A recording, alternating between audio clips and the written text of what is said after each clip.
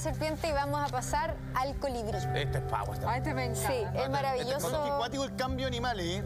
Serpiente, libélula, colibrí. Uno pensaría que son animales grandes, lo que sea antes. Animales como power. Claro. Hay de todo.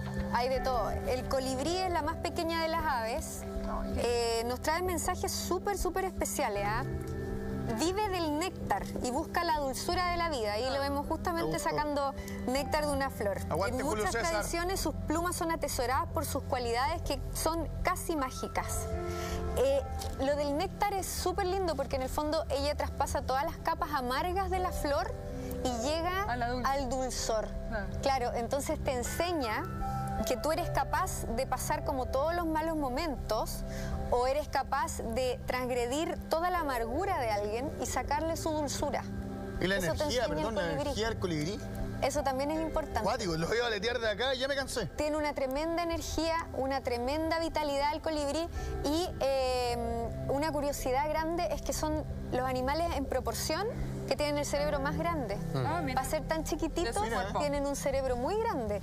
Claro, se dice que son tremendamente inteligentes los colibrí.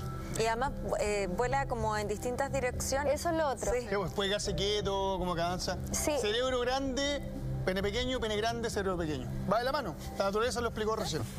Lo llaman el acróbata de las aves, por lo que decía Camila recién. puede- Puede volar hacia adelante, hacia atrás. Puede suspenderse. Claro, en retroceso puede Muy volar lindo. hacia arriba y también hacia abajo y eso es como un mensaje de versatilidad, Mm. de ser dúctiles en la vida, de poder ahí como irnos amoldando, de poder movernos por distintas partes. Y la belleza de sus colores. Un ¿no? harrier. Es lindo y, y es un animalito alegre que te transmite un mensaje como de liviandad. Se mueve de una forma graciosa y liviana. Bueno, aparte, cada vez que vi uno, las pocas veces que tiene la suerte de ver uno, es como, ¡Ah! mira, ahí está, y como que Es como crea un milagro. conmoción. Claro, es como un milagro. Y fíjate que eh, según los mayas, los colibrí llevan mensajes. Los mayas dicen que ellos crearon a los colibrí como mensajeros, después de crear toda la humanidad, todo lo que... Como Mercurio. to- todos los animales crearon el colibrí para transmitir mensajes, pero de pensamientos. Yo quiero que tal persona que está en tal lugar sepa lo que yo estoy pensando, le quiero dar un mensaje Y ellos eran los y mandan al colibrí. Mira. Sí. Tiene, sus cosas de Dimondo el colibrí, ¿ah? Tiene sus cositas de Su Dimondo. estética. Puede ser. Entonces ellos transmiten mensajes Oye. y dicen que si se te aparece un colibrí, te está trayendo una Sí, noticia de de, todas alguien. maneras, generalmente. Por eso son tan especiales como decía Lama, así como ¿Los que... ven poco? Eh, Sí, pues, absolutamente. Incluso en donde habitan, se ven relativamente poco. Tienen esa como timidez sutil. Eh, los chamanes o las personas que pueden ver cosas más allá de lo evidente, eh, están relativamente todos de acuerdo que en el corazón de los seres humanos, en todos y cada uno habita un colibrí. Y lo pueden ver, así lo llaman.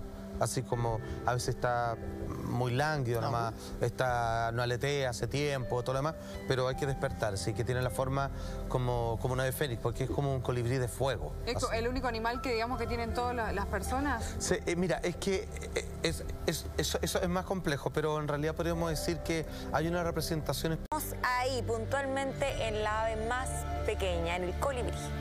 El colibrí, como veíamos recién, es el gran mensajero. Dicen que cuando hay un colibrí alrededor tuyo, sobre todo cerca de tu cabeza, va a tomar algún pensamiento y lo va a llevar a donde Pero tú es quieres como una vaya. idea, como si fuera un globo. Sí, te toma como tu idea y la, y la lleva a otra persona. Una paloma mensajera. Sí, y súper, yo encuentro que sirve, por ejemplo, cuando tú quieres darle un deseo tuyo al universo y que se te cumpla. Ahí está bueno invocar al colibrí como el eterno mensajero para que lleve ese deseo y ese pensamiento y lo eleve.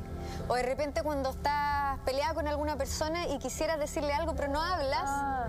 invocar al colibrí Ahora- y para que mande... Ese mensaje a la libre. persona. Ese O sea, si yo mañana agarro un colibrí del patio y lo meto en una jaula, no estoy ayudándome con mi animal de poder, ¿no? pues claro No, que igual de acá que lo Perdón, agarre, pregunta de trata de, como de animales. No, tienes que permitir que siga su ciclo de vida natural el Libertad. colibrí. Por eso también dicen que los colibríes traen mensajes del más allá, que de repente cuando tú ves un colibrí puede traer un mensaje de algún ser querido que falleció en algún momento. Vamos a revisar la gráfica con las características ahí específicas de lo que significa el colibrí como animal de poder. Adaptabilidad, por lo que hablábamos de su manera tan particular de volar hacia adelante, atrás, arriba, abajo, nos enseña a adaptarnos a todo lo que nos trae la vida. Tienen la habilidad de sanar. Ellos, fíjate que sobreviven en la adversidad. Ellos pueden vivir una adversidad extrema Sí. y bajan sus funciones vitales al mínimo, Evolucionan. casi como si estuvieran muertos. Para sobrevivir. Y al otro día renacen con todo. Es como morir un día en el fondo, ¿no? Es como morir un día. Tal cual. Entonces eh, te enseñan cómo a sanar. Tú puedes estar al borde de la muerte en términos emocionales o físicos Claro. y puedes recuperarte y volver a tener tu energía. Entienden y ven el lado bueno de quienes los rodean porque ellos se toman la vida con bastante ligereza. Los colibríes viven poquito. Eh, dicen que muchos no, pa- no pasan el año de vida. Mira. Pero es una vida muy intensa, muy intensa. O Están sea, tienen siempre sacando latidos, creo que son no sé cuántos mil latidos por minuto. O sea, Sí, es como que viene el triple en el fondo, ¿no? Cuando vuelan, 80 letazos por minuto. Súper rápido, o sea, más que un aletazo por segundo, imagínate. Exacto. Entonces también te enseñan esa agilidad, esa velocidad, la energía que puedes vivir intensamente, pero corto. Entonces yo, eh, es como valorizar cada momento de la vida sin, sin sentir que tú la tienes comprada. Claro. Eh, son símbolo de alegría y felicidad por la forma que tienen, esa gracia, esa liviandad, esa ligereza. Como carismático, ¿no? Sí, Como sí, y representan también el amor. Te Entonces, das cuenta que si tú sumas todas esas características que están en pantalla, es como si estuvieran hablando del corazón de la gente. tienes razón. ¿Cachai? Con esa capacidad de tienes sanar, con liviandad, con buenos deseos, con... Como debiera estar el Claro. corazón, porque... Te das cuenta, no es un cerebro esto, no está hablando de la mente, no, estamos sí, hablando del del corazón. corazón. Claro. Que, que no son particularmente ni las emociones, eso. Es un sentimiento centrado, co- eh, correspondido. Es verdad. As- Así que está ahí equilibradito.